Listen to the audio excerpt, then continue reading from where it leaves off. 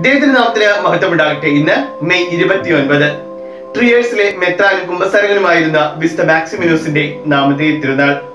തന്റെ സഭയുടെ ഏറ്റവും അപകടം നിറഞ്ഞ കാലഘട്ടങ്ങളിൽ ദൈവം അയച്ച പ്രേക്ഷിതനായിരുന്നു വിശുദ്ധ മാക്സിമിനോസ്.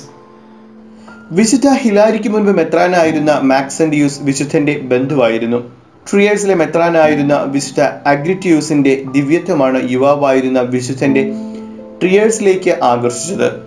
പ്രാഥമിക വിദ്യാഭ്യാസത്തിന് ശേഷം വൈദികനായ അദ്ദേഹം മുന്നൂറ്റി മുപ്പത്തിരണ്ടിൽ ആഗ്രിറ്റിയൂസിന്റെ മരണത്തിന് ശേഷം അദ്ദേഹത്തിന്റെ പിൻഗാമിയായി അഭിഷിക്തനാവുകയും ചെയ്തു. മുന്നൂറ്റി മുപ്പത്തിയാറിൽ വിശുദ്ധ അത്താനാസിയൂസിനെ ട്രിയേഴ്സിലേക്ക് നാടുകടത്തിയപ്പോൾ വിശുദ്ധ മാക്സിമിനൂസ് ആണ് അദ്ദേഹത്തെ സ്വീകരിച്ചത്. അപമാനിതനായ ഒരു വ്യക്തി എന്ന നിലയിലല്ല മറിച്ച് ക്രിസ്തുവിന്റെ ഏറ്റവും മഹാനായ സാക്ഷി എന്ന നിലയിൽ. വിശുദ്ധന്റെ സാന്നിധ്യം വളരെയേറെ സന്തോഷം നൽകുന്നതായിരിക്കും എന്ന് വിശുദ്ധ മാക്സിമിനൂസിന് അറിയാമായിരുന്നു. രണ്ട് വർഷത്തോളം വിശുദ്ധ അത്താനാസിയൂസ് വിശുദ്ധന്റെ കൂടെ കഴിഞ്ഞു. ധൈര്യത്തിനും ജാഗ്രതയ്ക്കും അസാധാരണമായ നന്മയ്ക്കും തെളിവാണ് വിശുദ്ധ മാക്സിമിനൂസ്.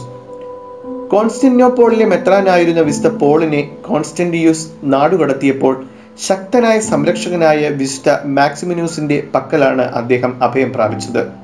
വിശുദ്ധൻ തന്റെ വിലയേറിയ ഉപദേശങ്ങളാൽ അരിയാനിസം എന്ന മതവിരുദ്ധ വാദത്തിന്റെ രഹസ്യ സ്വാധീനത്തെക്കുറിച്ചും പ്രലോഭനങ്ങളെക്കുറിച്ചും കോൺസ്റ്റന്യൂസ് ചക്രവർത്തിക്ക് മുന്നറിയിപ്പ് നൽകുകയും അവയെ ശക്തമായി എതിർക്കുകയും ചെയ്തു.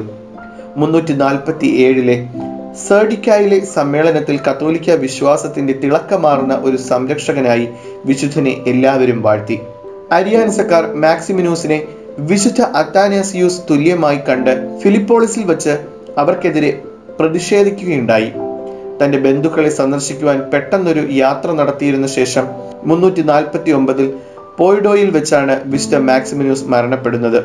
പോയിറ്റിയേഴ്സിന് സമീപമാണ് വിസ്റ്റനെ അടക്കം ചെയ്തെങ്കിലും അദ്ദേഹത്തിന്റെ മൃതദേഹം പിന്നീട് ടിയേഴ്സിലേക്ക് മാറ്റി. മെയ് ഇരുപത്തിയൊൻപത് വിശുദ്ധന്റെ ഓർമ്മ ദിവസമായി കൊണ്ടാടപ്പെടുന്നു വിശുദ്ധ മാക്സിമിനൂസിനെ പോലെ ജീവിതത്തിൽ ദൈവിക പ്രക്ഷോഭ മറ്റുള്ളവരിൽ പകർത്താൻ നമുക്ക് ശ്രമിക്കാം. ചെയ്യുന്ന കാര്യങ്ങൾ ആർക്കും വേദനാജനകമല്ലാത്ത രീതിയിൽ പ്രവർത്തിക്കാം. శుభదినం